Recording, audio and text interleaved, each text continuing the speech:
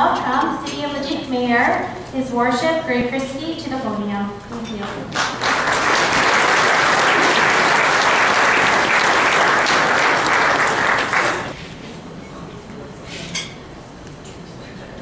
President Gutal, Mayor Whaley, MLA and past City Mayor George Rogers, past City Mayor John Jackie, regional mayors and councilors, friends, thank you for joining us today. As John already said, we need to acknowledge the Chamber for once again hosting these important community updates. Jennifer Garys and her team are outstanding and a tremendous asset to this region. Please give them a hand.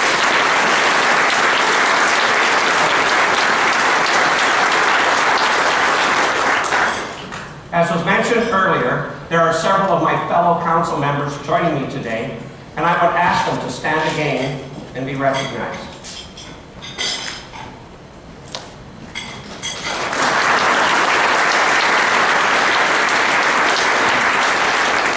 I'm very proud of our dynamic team.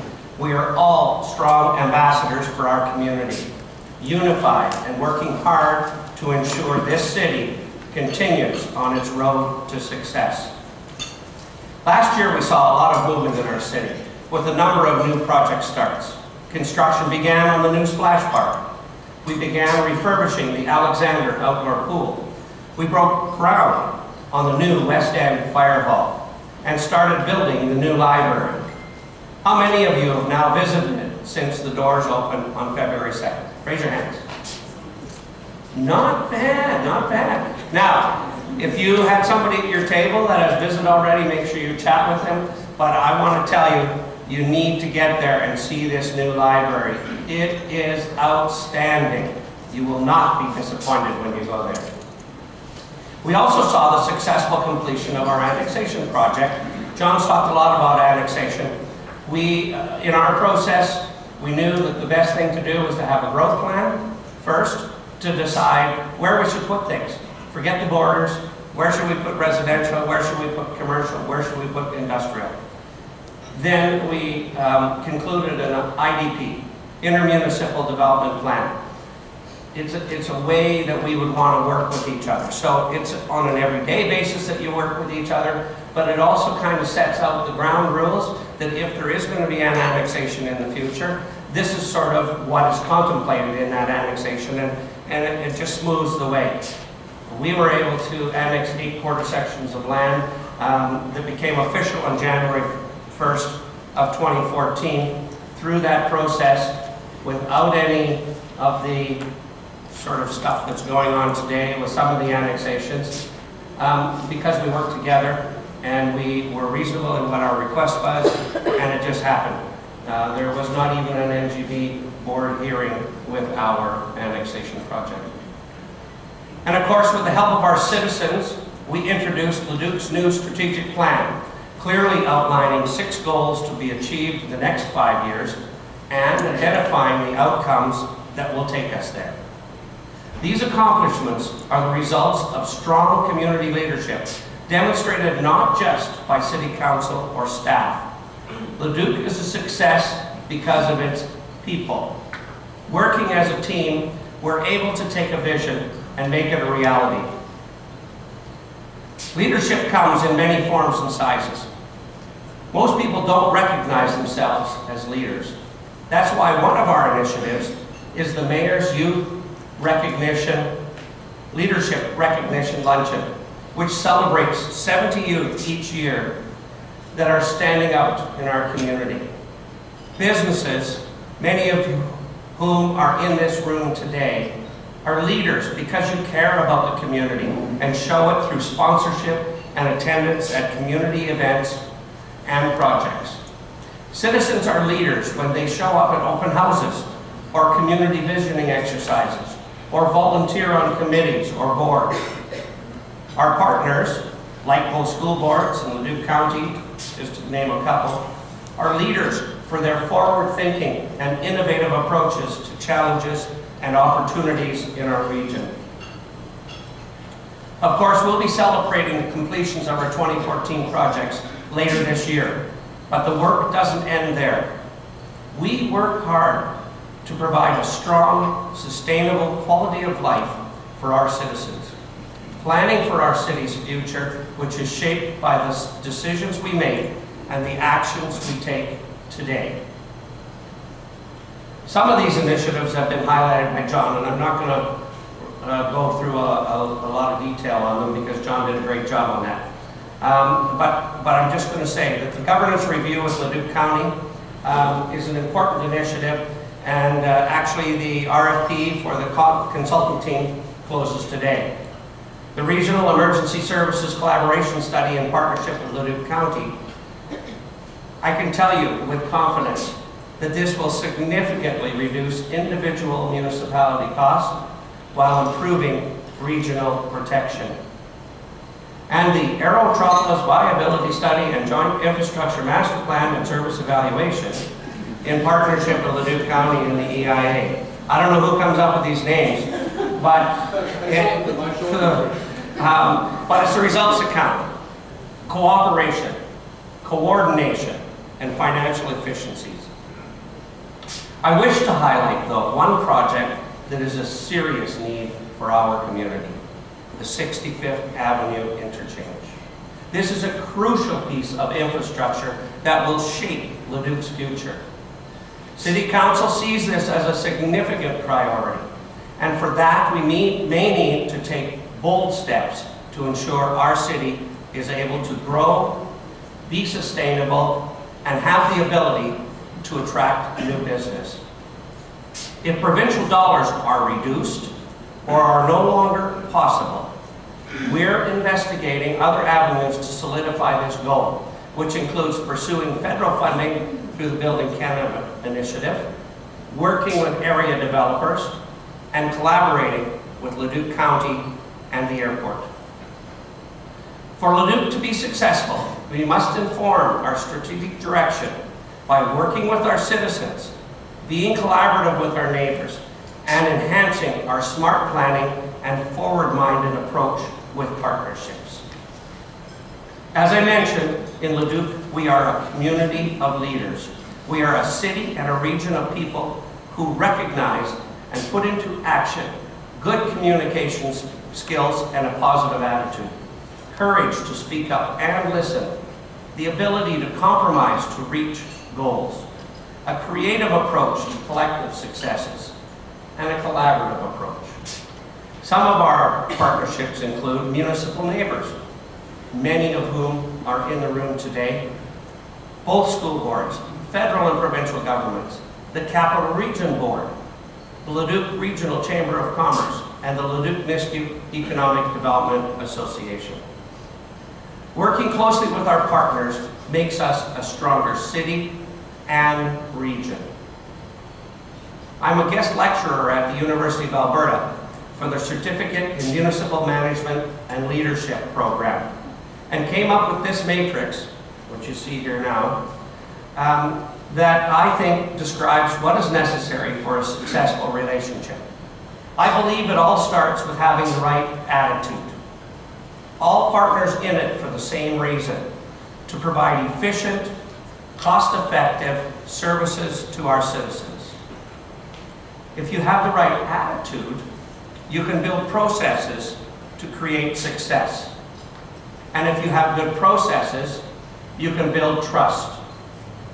From trust, you can achieve open dialogue.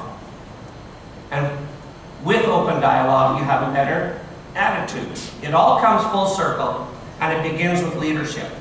Setting a clear tone and having the right attitude to evoke positive change, in this case, for the whole region.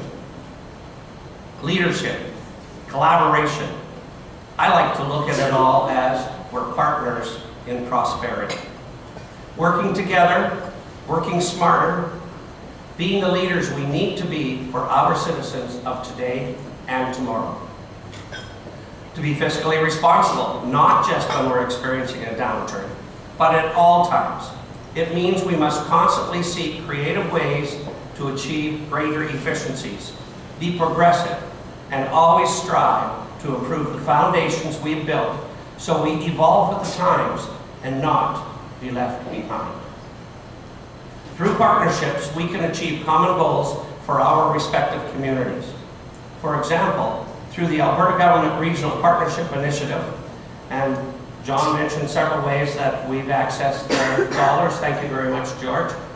Um, again, on top of the projects well, John, John and I mentioned already, we partnered with Fort Saskatchewan on a couple of projects. One being updating our land use bylaw, and secondly, creating Leduc's first financial sustainability plan. We've also partnered with the, the County of Wetaskiwin on a program for corporate performance planning and integrated management software to assist us in working smarter, not harder.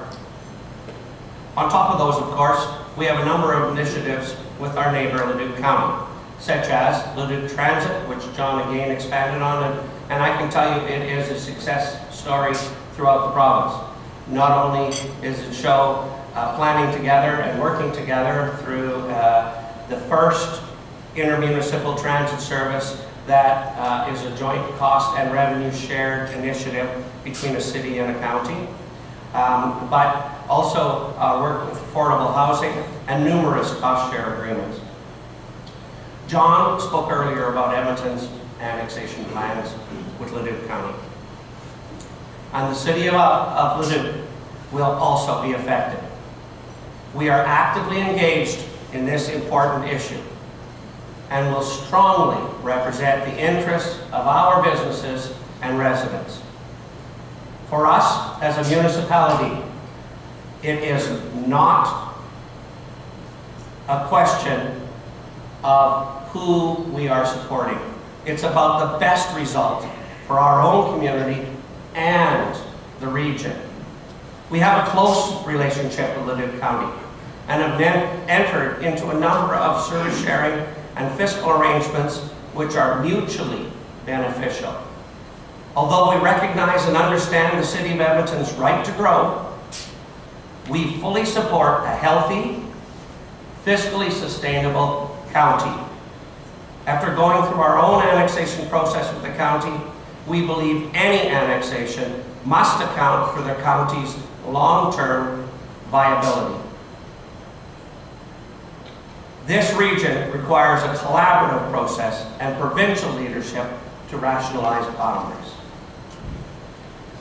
For our own community, if we plan to grow in population to 40,000 by the end of the decade, 40,000, end of the decade, we must identify what steps are needed to get us there. We know that we must balance the services we're able to offer our citizens with the dollars that are available all the while bolstering Leduc as the location of choice for business and new residents. Today, we're a population of more than 28,500. Our residential growth included the addition of 637 new homes, which is significant when you compare it over a five-year stretch. Non-residential growth increased by 17% in permit values for 2014 to more than 132 million. Combine that with the county's 177 million that John mentioned earlier, and it means that almost $1 million a day was spent on new commercial and industrial development in our area. A million dollars a day.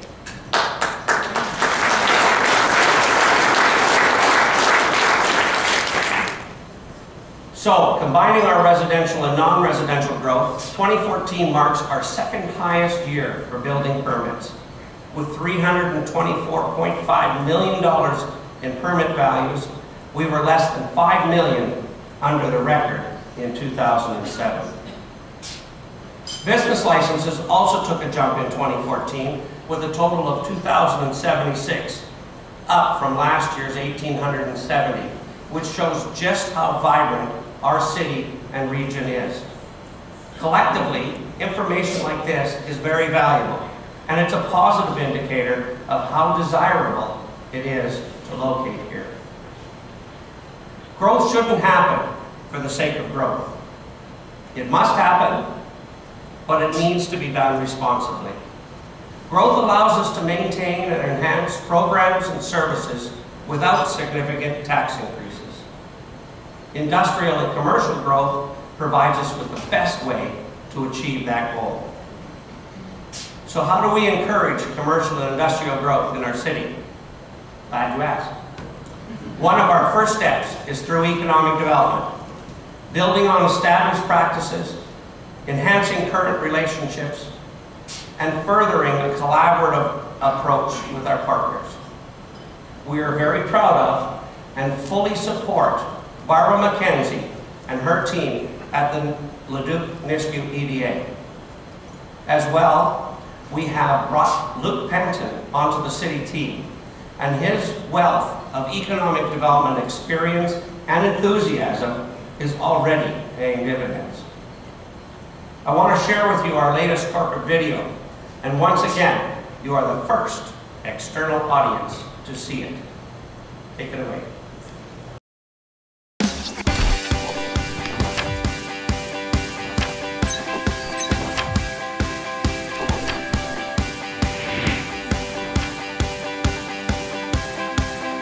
A business location is one of the most important decisions a business owner can make.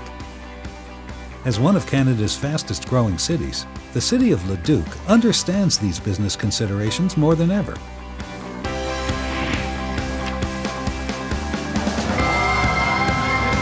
With a vibrant and diverse population of over 28,500, we have expanded by more than 68% since 2006.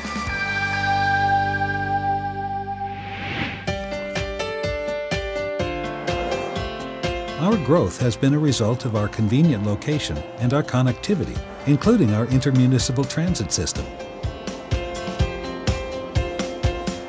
Located just 15 minutes from Edmonton, Alberta's capital city, minutes away from the Edmonton International Airport, and as a primary connector to the Canamex trade corridor, Leduc is connected to the wider world. We liked the location, uh, Highway 2, the proximity to the airport, the proximity to Edmonton, we do feel that Leduc as a city uh, is a complete community. Visitors and residents alike can enjoy a variety of shopping and dining choices in Leduc. We offer a regional retail center and a diverse downtown core which offers traditional street fronting and a selection of boutique shops.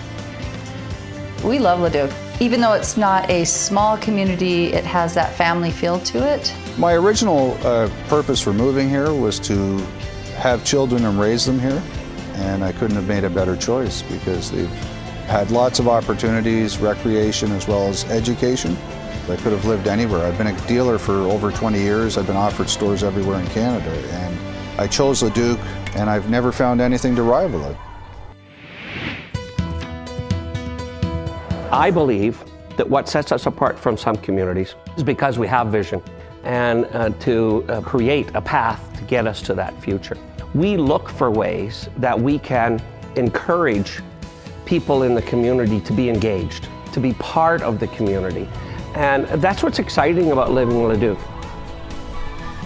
We're dynamic and strategic with our growth. With our roots in energy-related technologies, we're continually growing, investing in a diverse industrial economic base. Energy services, agri-foods, technology, and advanced manufacturing are a few of our highly skilled productive workforces that have nearly tripled in size over the past five years. The city of Leduc is very, very business friendly. They have a very pragmatic council. They have very uh, far-thinking city manager and city officials. So they understand the business, how the business works and how it makes the whole economy work. The Chamber is a proactive voice for businesses. The Leduc Regional Chamber of Commerce currently has over 750 member businesses. We have anything from home-based businesses to Ledcor PCL, the large corporations, so we offer something for everyone. With more than 31,000 highly skilled trade and certified professional workers in the area, as well as access to a nearby labor pool of over 780,000, this is the ideal place to locate a business, not to mention Alberta's competitive tax structure.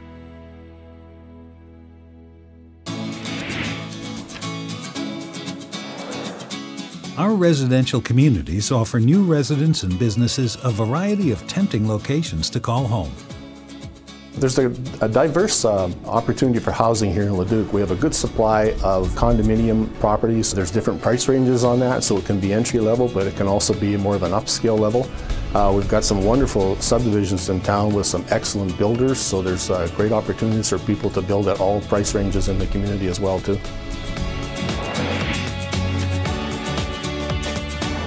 Community, business, and people. Growth is at the heart of everything we do.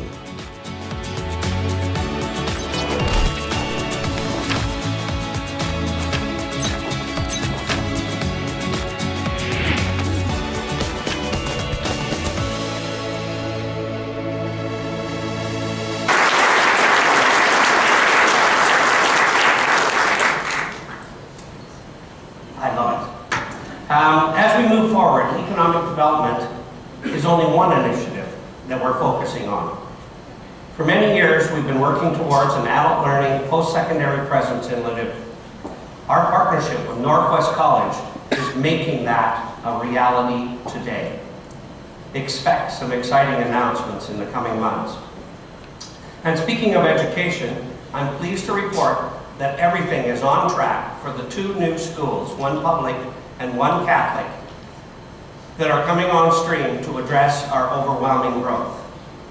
The new K-9 school with Black Gold Regional Schools, called West Haven Public School, is expected to be open for the 2016-17 school year with a capacity of 500 students. This new school, of course, will be located in Leduc's West End.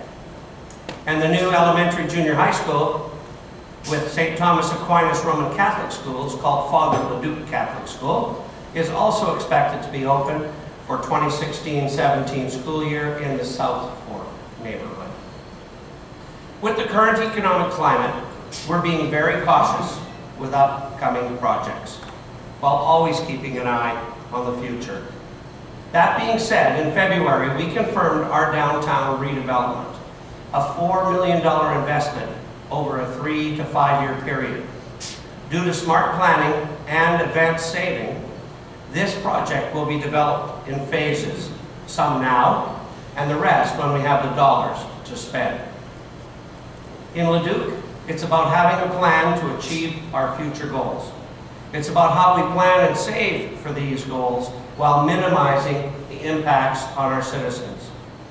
Two more examples that I've talked about before of, of solid planning are Telford Lake and our West End lands. With a plan, we can bite off bits and pieces as funds are available with the eventual goal of full development. So with Telford Lake, we have a long-term vision of how Telford Lake will evolve, taking it from a natural gem to an outdoor destination with day use and recreation amenities that will appeal to visitors of all ages. And with regards to Leduc's West End, as you remember, a few years ago, the city acquired land in order to meet our vision of expanding services in our city's West End. Down the road, we know a new recreation complex will be needed in the community to meet mounting demands. And we plan to eventually bookend that rec center with public and separate high schools. Today, you can already see the construction of Leduc's second fire hall. And in speaking about our fire and emergency services, we know that as we get closer to opening the West End Fire Hall, we must also be mindful of the growing need to have a third fire hall in Leduc's North Sector. That leads us back to the Regional Emergency Services collaboration study that I mentioned earlier and John alluded to. Again, partnering and working collaboratively to work smarter and be more efficient to meet growing needs at the core of our city and along our borders. At the end of the day, we know times are changing in Alberta. With the provincial budget coming, we recognize that municipal transfers may be at risk. Because of this, we've already started looking at what this impact will mean for our community and have started reevaluating projects to seek greater efficiencies and if need be, tightening our belts. We're just anticipating the impact, but we're far from panicking. We're in a good position to weather this short-term pain.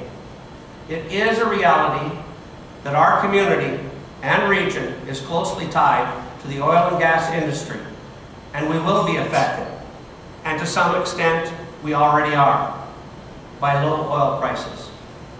But it's also a reality that we are a community that is so much more. We have the fastest growing major airport in Canada on our doorstep. We're surrounded by some of the best and most productive agricultural lands and industries such as dairy in Canada. We are recognized as the third largest manufacturing area in Canada. Not oil and gas, manufacturing. And I submit, we have the best businesses and residents right here in this region. We are active, we are resilient, and we are engaged.